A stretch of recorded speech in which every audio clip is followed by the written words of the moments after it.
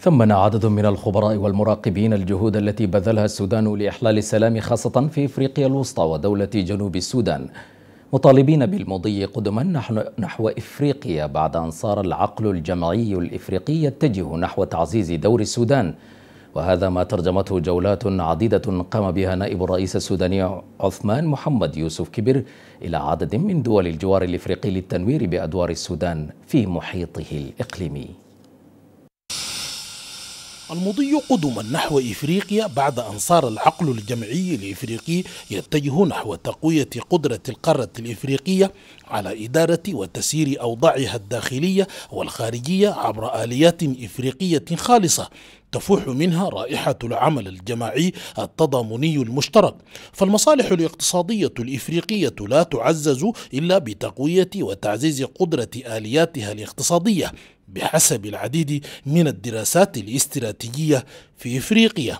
وهو ما تترجمه جولات عديدة قام بها نائب الرئيس السوداني عثمان محمد يوسف كبر إلى عدد من الدول الإفريقية شملت محطات عديدة توقف عندها الرجل ناقش خلالها قضايا تحمل نفس الأبعاد والمضامين الاقتصادية والسياسية والأمنية وغيرها من محصلات قوى الدولة الشاملة فكانت تشاد يوغندا وكينيا ورواندا وهي محطات تعزز وتوثق علاقات السودان عبر العديد من الشراكات الاستراتيجية الذكية في إطار تجديد أو إنعاش المسار الاستشرافي الداعم لتنشيط البرامج والمشروعات والاتفاقيات المختلفة بين السودان والدول الإفريقية خاصة المحيطة بجواره الإقليمي وذلك لمجابهة التحديات الإقليمية والدولية التي تواجهها والمخاطر الناجمة من التدخلات الخارجية المهيمنة التي تتعرض لها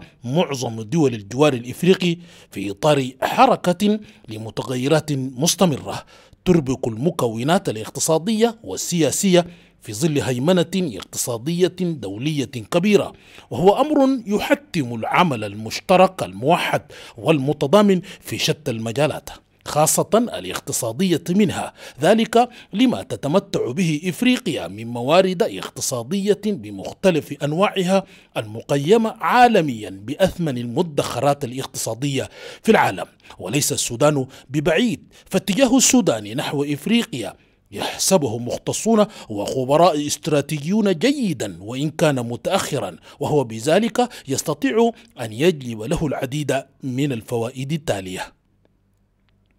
يعزز من دور السودان الريادي في مساهمته في استقرار وسلام القارة الإفريقية. يدعم مواقفه الداخلية لتبني شراكات إقليمية اقتصادية قوية. يعزز من نقاط القوة التفاوضية للسودان في المحافل الإقليمية والدولية. إعادة التنظيم والترتيب والسيطرة على موارده الاقتصادية. تقوية النسيج الداخلي من خلال مواجهة الاستراتيجيات المضادة للتطوير الاقتصادي. مقاومة التهديدات والمخاطر التي يتعرض لها. يعزز من أمنه واستقراره في الإقليم. محصلة القول إن محاولة تفتيت السودان في إطار سياسة شد الأطراف وبترها ضمن تأجيج الصراعات والمقاطعات الاقتصادية وخلخلة تركيبته الاجتماعية المتماسكة. مجهود يقتضي من السودان تحسين علاقاته وتوطيدها مع دول جواره الإقليمي من أجل خلق تحالفات ذكية تواجه هذه المخططات. رمضان عبد القادر لقناة طيبة الخرطوم.